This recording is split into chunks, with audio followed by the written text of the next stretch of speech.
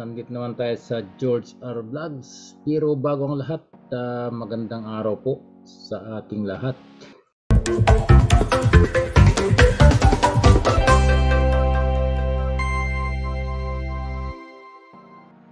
Ito po yung balita.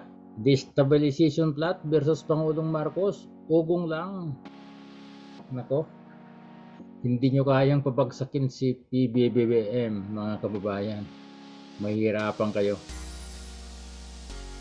Basta ang mga aktibong military at saka general ay suportahan ang konstitusyon ng Pilipinas. Mahihirapan po kayong pabagsakin ang ah, nakaupong Pangulo ng Pilipinas sa panahong ito. Dahil po, marami po ang sumusuporta sa administrasyon ng Pangulong Marcos. Huwag na natin, huwag na natin balikan ang mga nakaraan pa. Marami nang nangyaring ganyan. Sana huwag po, huwag na, huwag na mangyari. Yung mga kudita-kudita na yan. Dahil mahihirapan lang ang ating mga kababayan. Lalong maghihirap ang Pilipinas pagka mangyari naman yung mga nangyari noong 1980s, 1990s mga kababayan. Ayon po dito sa balita, ogong-ogong lang umano ang isyo ng destabilisasyon laban sa administrasyon ni Pangulong Ferdinand Marcos Jr. Ito po ay nilinaw ng ah, Armed Forces of the Philippines Chief of Staff General Browner Jr. sa lumalabas na ulat sa umano'y pagbubunyag niya ang destabilization plot laban kay PBBM. Wala pong katotohanan ito mga kababayan. Base po sa lumalabas na ulat, ibinulugar umano ni Browner sa pagdalo nito sa Change of Command Ceremony sa AFP West Mindanao Command Zamboanga City nitong biyernes na may mga retiradong general umano na kinukumbinsi ang mga sundalo na pabagsakin ang administrasyon ni Pangulong Marcos. Naku po, naku po, huwag niyo pong gagawin dahil taong bayan po ang makakalaban nyo pagka binangga nyo ang administrasyon ni ah, Pangulong Marcos. Sigurado po, sigurado ko dyan, marami pong sasanib, marami pong ah, kakampi sa administrasyon Marcos. Siguro mga, mga ilan-ilan lamang na hindi kontento sa pamala, pamalakad ng presidente. Pero sa totoo lang, mas marami po ang sumasang-ayon sa kanyang administrasyon. Sa nasabing aksyon, sinabi ni Browner na pin- pinaalahanan niya ang aktibong mga sundalo sa katimugang bahagi ng bansa na huwag pansinin ang nasabing imbitasyon sa destabilization efforts laban sa gobyerno. Tama po yan, ah, Chief of Staff Browner. Huwag natin pabayaan na babagsak ang administrasyon Marcos dahil nakikita natin yung mga programa niya ay para sa mga kababayan natin na naghihikaos, mga mahihirap. Kung mayroon man ah, nagplaplano na ma-destabilize ang gobyerno, siguro, sigurado po yung mga nagkahangad yan ng posisyon sa gobyerno mga kababayan. Samantalang pag nangyari yan mahihirapan naman ang mga kababayan natin na maliliit.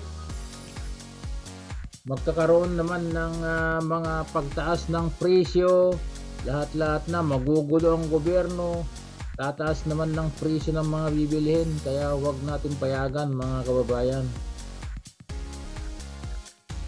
Ang sabi pa ni ah, ah, General Browner malakihan niya ang respeto niya sa mga retiradong opisyal bagaman hindi naman niya ito nilalahat dahil mangilan-ngilan lamang umano ang mga retiradong general. Inihayag ni Browner na ang is- stab efforts ay nagkaroon ng ugong-ugong noong September 21 rally. Yan. Ito po ay nilinaw ng ah, Armed Forces of the Philippines Chief of Staff General Browner Jr. sa lumalabas na ulat sa umano'y pagbubunyag niya ang destabilization plot laban kay PBBM. Wala pong katotohanan ito mga kababayan. Base po sa lumalabas na ulat, ibinulugar umano ni Browner sa pagdalo nito sa Change of Command Ceremony sa AFP West Mindanao Command Zamboanga City nitong biyernes na may mga retiradong general umano na kinukumbinsi ang mga sundalo na pabagsakin ang administrasyon ni Pangulong Marcos. Naku po, naku po, huwag niyo pong gagawin dahil taong bayan po ang makakalaban nyo pagka binangga nyo ang administrasyon ni ah, Pangulong Marcos.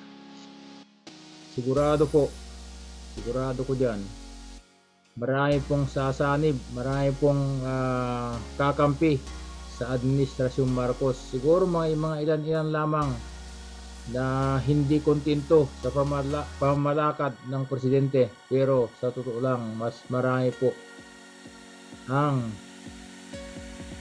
sumasang-ayon sa kanyang administrasyon. Sa nasabing aksyon, sinabi ni Browner na pin- pinaalahanan niya ang aktibong mga sundalo sa katimugang bahagi ng bansa na huwag pansinin ang nasabing imbitasyon sa destabilization efforts laban sa gobyerno. Tama po yan, ah, Chief of Staff Browner. Huwag natin pabayaan na babagsak ang administrasyon Marcos dahil nakikita natin yung mga programa niya ay para sa mga kababayan natin na naghihikaos, mga mahihirap.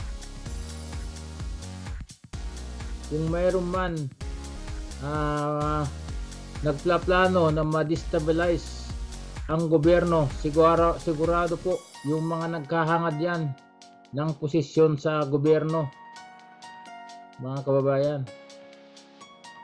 Samantalang pag nangyari yan, mahihirapan naman ang mga kababayan natin na maliliit. Magkakaroon naman ng ah, mga pagtaas ng presyo, lahat-lahat na magugulo ang gobyerno, tataas naman ng presyo ng mga bibilihin, kaya huwag natin payagan mga kababayan. Ang sabi di pa ni ah, ah, General Browner, malakihan niya ang respeto niya sa mga retiradong opisyal bagaman hindi naman niya ito nilalahat dahil mangilan-ngilan lamang umano ang mga retiradong general. Inihayag ni Browner na ang is- distab efforts ay nagkaroon ng ugong-ugong noong September 21 rally. Yan. Yan lang po mga kabayan. Salamat ng marami. George R. Vlogs. Huwag kalimutan pindutin ang notification bell para sa ganun ay ma-notify kayo kung mayroon akong bagong upload na video. Salamat po.